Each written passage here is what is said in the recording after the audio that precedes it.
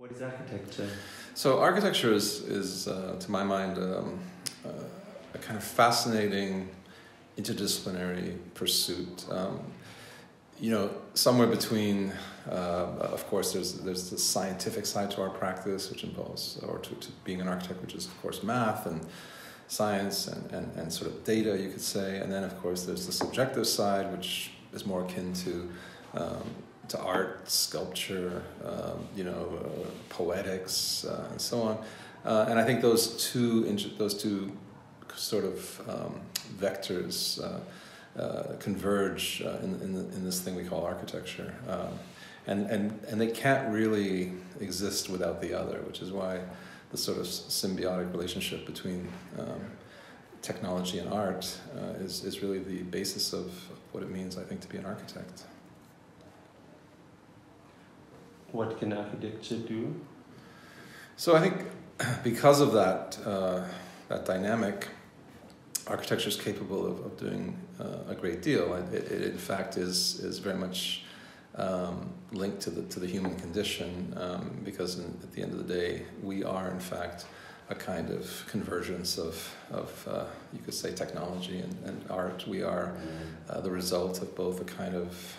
set of rational, predictable behaviors, but at the same time, uh, very much uh, poetic and metaphysical and, and involved in, in, other sorts of aspects of, of being. Um, and I think if you think of it that way, architecture is capable of um, really dealing with the human condition in a very profound way. Um, be that either through something as prosaic as uh, as sort of you know shelter and and and, and uh, utility, uh, but by the same token, uh, something that's much more tied to um, other kinds of uh, less uh, or more ineffable aspects, uh, like the, the, the, quality of, of being in space, uh, the, um, the sort of profundity of, um, of dealing with uh, physical form, with urbanism. Um, so, so architecture has a wide sort of variety of possibilities uh, when one really considers that it is really, um, at, at its kind of essence, uh, a sort of navigational tool for, for the human condition uh, moving you know through through through space and, and the world. Uh, what is your architectural position? So you know I've always uh, we've always my, my partner and I in our firm at Asymptote have always steered clear of, of sort of holding true to a particular position or dogma or dialectic or or, or ism. Uh, and, and the reason for that is that it's allowed us to uh, maintain a kind of versatility and a kind of um, alertness, let's say, uh, within the discipline as to, in terms of the work we're doing. I, I think one of the problems historically, and, and, this is really the result of history theory uh, as a way of understanding architecture in terms of packages and moments and, and positions and so on, that's not to say those things didn't exist. They do, and they're very strong and, and very important to look at, sort of, especially in hindsight. But in the moment of being an active agent in the discipline, I think it's a little bit dangerous to position yourself uh, in, in, a particular uh, place. Um, I, I, do think, though, that we're influenced by positions around us, uh, and those positions, be they, you know, uh, sort of parametricism or post-structuralism or you know late post post postmodernism uh, you know uh, are all of course influences and are moving around us and people are sort of moving in and out of these different sorts of let's say spheres. Um, but I think even for anybody who might be labeled in, terms of one of these kinds of uh, places it's important to sort of stay um, stay sort of peripheral to that, uh, at least intellectually, um, to allow yourself to, to really you know, work and to do research and, and to dig deep into, into problems and projects. And the reason for that actually is because, um, and more, now more than ever perhaps, I mean, maybe, and again, it's, it's hard to say because we can look back in, in history and say, oh yes, you know, modernism was, you know, post-war and important and, and, and happened for a particular reason and was tied to particular vectors and so on. Um, but I think it's really important to sort of look at the times we're in and realize that they're so in flux. And I'm not saying that there weren't other times historically that were in flux, but um, there, there's so much going on and so many uh, strange convergences between um, you know, technology, socialization, uh, notions about urbanism, climate change. Uh, you know, it, it's, it's a kind of a, a wild moment in terms of these, these sort of, um, let's say, weather systems of influence. Um, so you're really,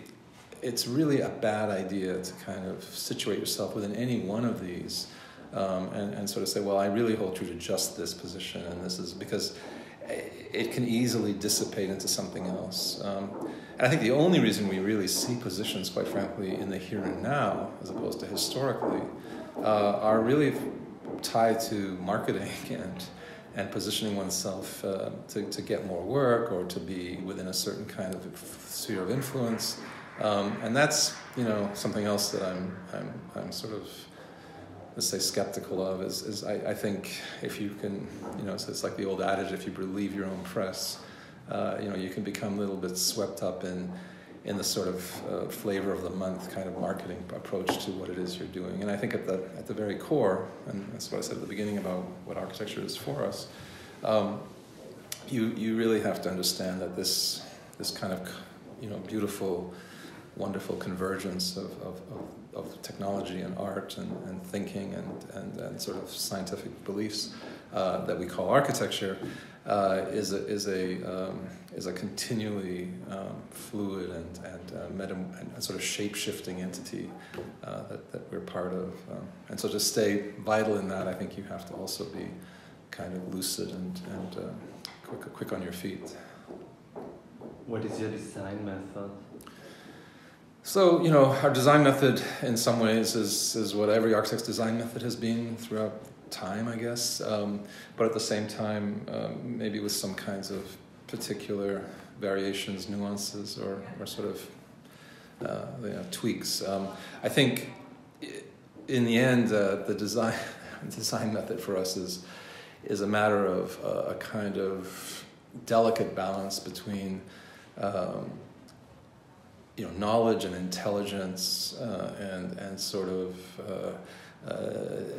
deeper thinking about a problem coupled with intuition and um, sort of risk taking and, and maybe at times even uh, kind of naivete um, that, that, takes hold and finding that, that kind of delicate balance between those things. Um, which allows, I think, allows the work to, you know, it, makes makes for a more interesting set of possibilities. And I think if, if you open to that kind of